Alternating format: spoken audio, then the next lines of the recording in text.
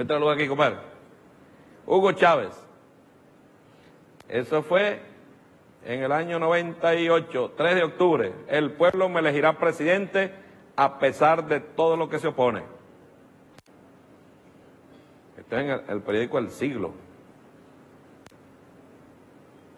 Defensa pedirá a candidatos a evitar comentarios que pongan al afán en terreno político. Marginalidad a la intemperie. Cuarta República, antes que recibiera el comandante Chávez. Mire, esto es la constancia de un, de un revolucionario. Hay que ser constante. Siempre, siempre, siempre. Esto que está aquí. Año 1900, ¿qué año es esto? ahora? 82, no. Parece 82. José Vicente Rangel. Prefiero ser un soldado de la unidad antes que el jefe de una división. Soldado de la unidad antes que el jefe de una división. Aquí ahorita hay muchos que quieren ser jefe de división y no tienen pero ni un soldadito, pues. Ni un soldadito, haciéndole el juego a la derecha. No somos la alternativa de la izquierda verdadera. José Vicente, aquí está, ¿ves? Diputado independiente, era José Vicente. Proclamado candidato presidencial del MEC en ese momento.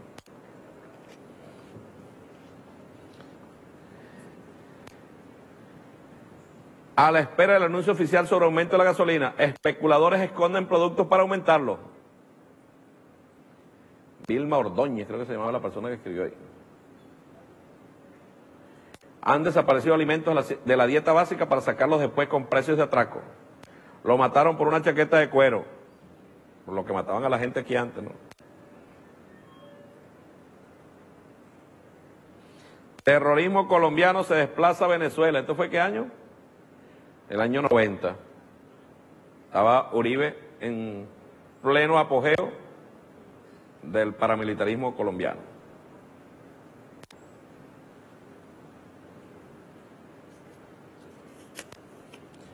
Política de Estado. Sicariato denuncia reclusos de la Penitenciaría General. 39 mil presos en huelga de hambre. Mayo del año 90. Política de Estado. Política de Estado. Mientras ahorita nosotros vemos a Iris no metida hasta en el último rincón. Va Iris trabajando, trabajando, trabajando, trabajando. Responsabilizan a una fiscal y autoridades de ese centro carcelario del presunto asesinato de innumerables presos. Lo mandaban a asesinar ahí, pues. Marzo de 1986. ¿Te acuerdan lo del vasito de leche escolar? Que decían, tómate tu vaso de leche para que seas un super niño. Aquí está una caricatura reclamando el vaso de leche y dice aquí la nota, organismos oficiales enunciaron que se estaba suministrando lactobisoid en las escuelas primarias, pero luego de una encuesta se pudo constatar que llegó solo a una minoría de planteles educacionales y peor aún, solo se suministran a niños considerados con problemas nutriciona- nutricionales. Pero acaso estar delgado o flaco, gordo o rozagante es una determinación de un buen estado físico o, nutrici- o nutricional? A los niños debemos restituirle su leche sin exclusiones. Pura paja de los programas de la Cuarta República. Y vienen ellos a hablarnos ahora, nosotros, de desnutrición. Ay, carajo. Pedro Tinoco, hijo, conveniente y necesario el refinanciamiento de la deuda externa. ¿Quién era Pedro Tinoco? Un banquero. Da pues, su negocio, negocio. El pelón dominó a la bestia, ese es Marvin Hagler, ¿verdad? Y le ganó a quién, a quién, a Mugabe. Ah, Mugabe, ¿se acuerdan? Era de Uganda, creo. Mugabe. Alto mando militar convocado de urgencia a Miraflores para informarle sobre medidas económicas. 18 de mayo del 90. A Filmo López, todos nos afectan esas medidas. Filmo López, a todos nos afectan esas medidas. Mujeres tiemblan en Guayana por temor a ola de despido.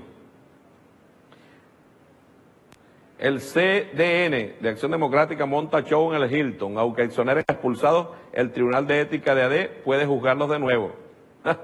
De votar a alguien por corrupción. Le hacían una fiesta. Y dame mi parte.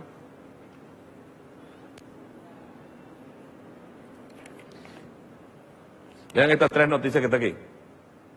Claudio, esto es 15 de junio del 90. Legalización de la prostitución decretará el alcalde. Claudio Fermín, pues. En un decreto establecerá horarios, zonas, carnet, tarjeta amarilla y, además pagarán impuestos. ¿Ah? Claro, privatizando el servicio, pues. Dice Paulina Gamos, ante declaración del fiscal, en Venezuela las leyes son para los tontos, los ricos y los vivos son intocables. Ella sabe por qué decía eso. Ella sabe por qué decía eso. Porque ella es militante de Acción Democrática. Creo que está viva esa señora todavía, ¿verdad? Ella está viendo con el mazo ahorita. ¿Cómo está, señora Paulina? Pero usted es parte de esto. En estado crítico, 12 hospitales del país. Si no se enfrenta a la crisis de la salud y los conflictos asistenciales. Por Alberto Amezquita. Luis Lira Puerta es el que escribió este aquí. 15 de junio del 1990. Este es el pasado que está ahí cerca. Gobierno no tiene con qué pagar aumentos salariales. Se temen nuevos conflictos laborales en el país a todos los niveles. La DIEX será reestructurada pese a todas las presiones. Esto fue en el año 90, abril, 6 de abril del 90. Acuérdense cómo se entregaba la cédula aquí, que lo que entregaban era... Ah, pues se les cayó la cédula un poco a gente que iba. Porque los nacidos en revolución, ¿verdad? Le entregaron su cédula de una vez en revolución, en revolución. Antes no. Antes te agarraba ese, te le entregaban su, ¿cómo se llama su? Su comprobante. Te tenía que sacarlo lo primero una fotocopia. Después mandarlo a empastar. Y meterlo en esa cartera y darle, pedirle a Dios que no le agarrara la, la recluta, porque si lo agarraba la recluta, no valía, no valía el comprobante y para el cuartel. Así era. AD insta al presidente a declarar al país en emergencia. ¿Qué diferencia, vale? Año 1982, ¿quién era el presidente? Luis Herrera. Nota de Gustavo Herrera, en la voz de Manuel Peñalver, secretario general de Acción Democrática. O sea, secretario general del partido Acción Democrática. Y aquí está Pompeyo Márquez, con todos los hierros al más prepara proclamación de Pekov. Es que se gobierna Pompeyo. Que quedó, que, quedó para adular a la derecha. Qué tristeza. Uy, Dios mi querido. Símbolo de la democracia es un enlatado de 9.176 apartamentos. El 23 de enero anda en busca de un ascensor que sirva.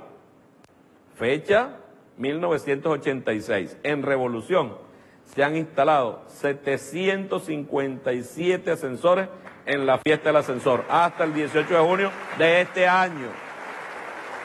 Se han recuperado, ¿eh?